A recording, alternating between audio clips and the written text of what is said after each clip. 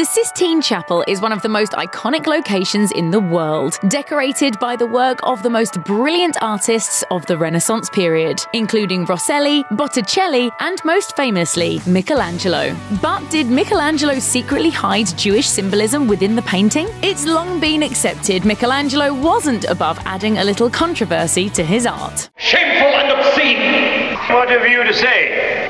I will paint man as God made him, in the glory of his nakedness. For instance, we know that he snuck in some Renaissance era Easter eggs, like using his own image for St. Bartholomew's flayed skin and for the severed head of Holofernes. Rabbi Benjamin Blech, an associate professor of Talmud at Yeshiva University, believes that Michelangelo did more. In his book, The Sistine Secrets Michelangelo's Forbidden Messages in the Heart of the Vatican, Blech argues that Michelangelo intentionally hid allusions to Judaism in the painting. And the biggest clue to this secret has been right in front of our faces all along, in the form of a simple fig. The fig is a very secretive fruit.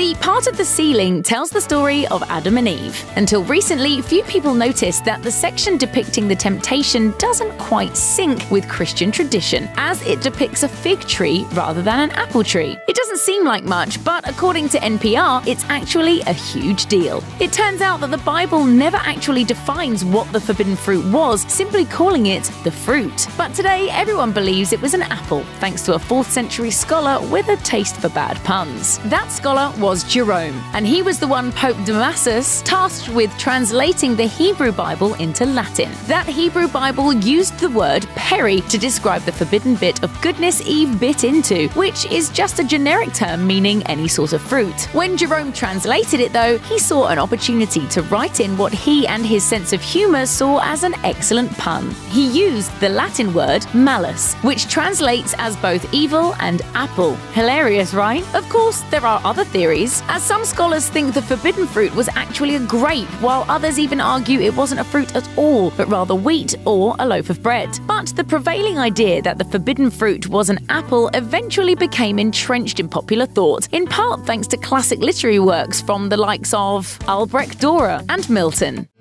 How do you like them apples?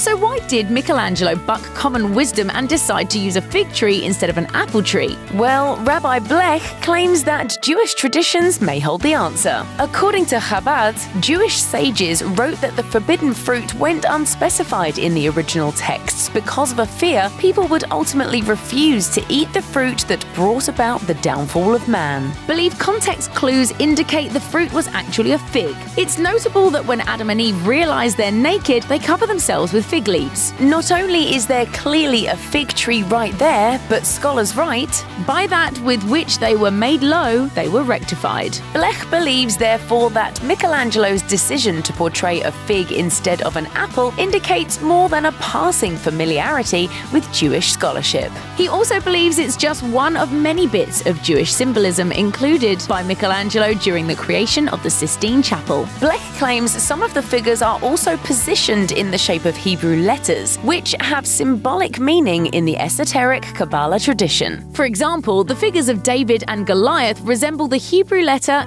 Gimel, which can represent strength. So, did Michelangelo, as Rabbi Blech suggests, paint the Sistine Chapel to be a bridge between the Roman Catholic world and the Jewish one? If so, well played, Michelangelo.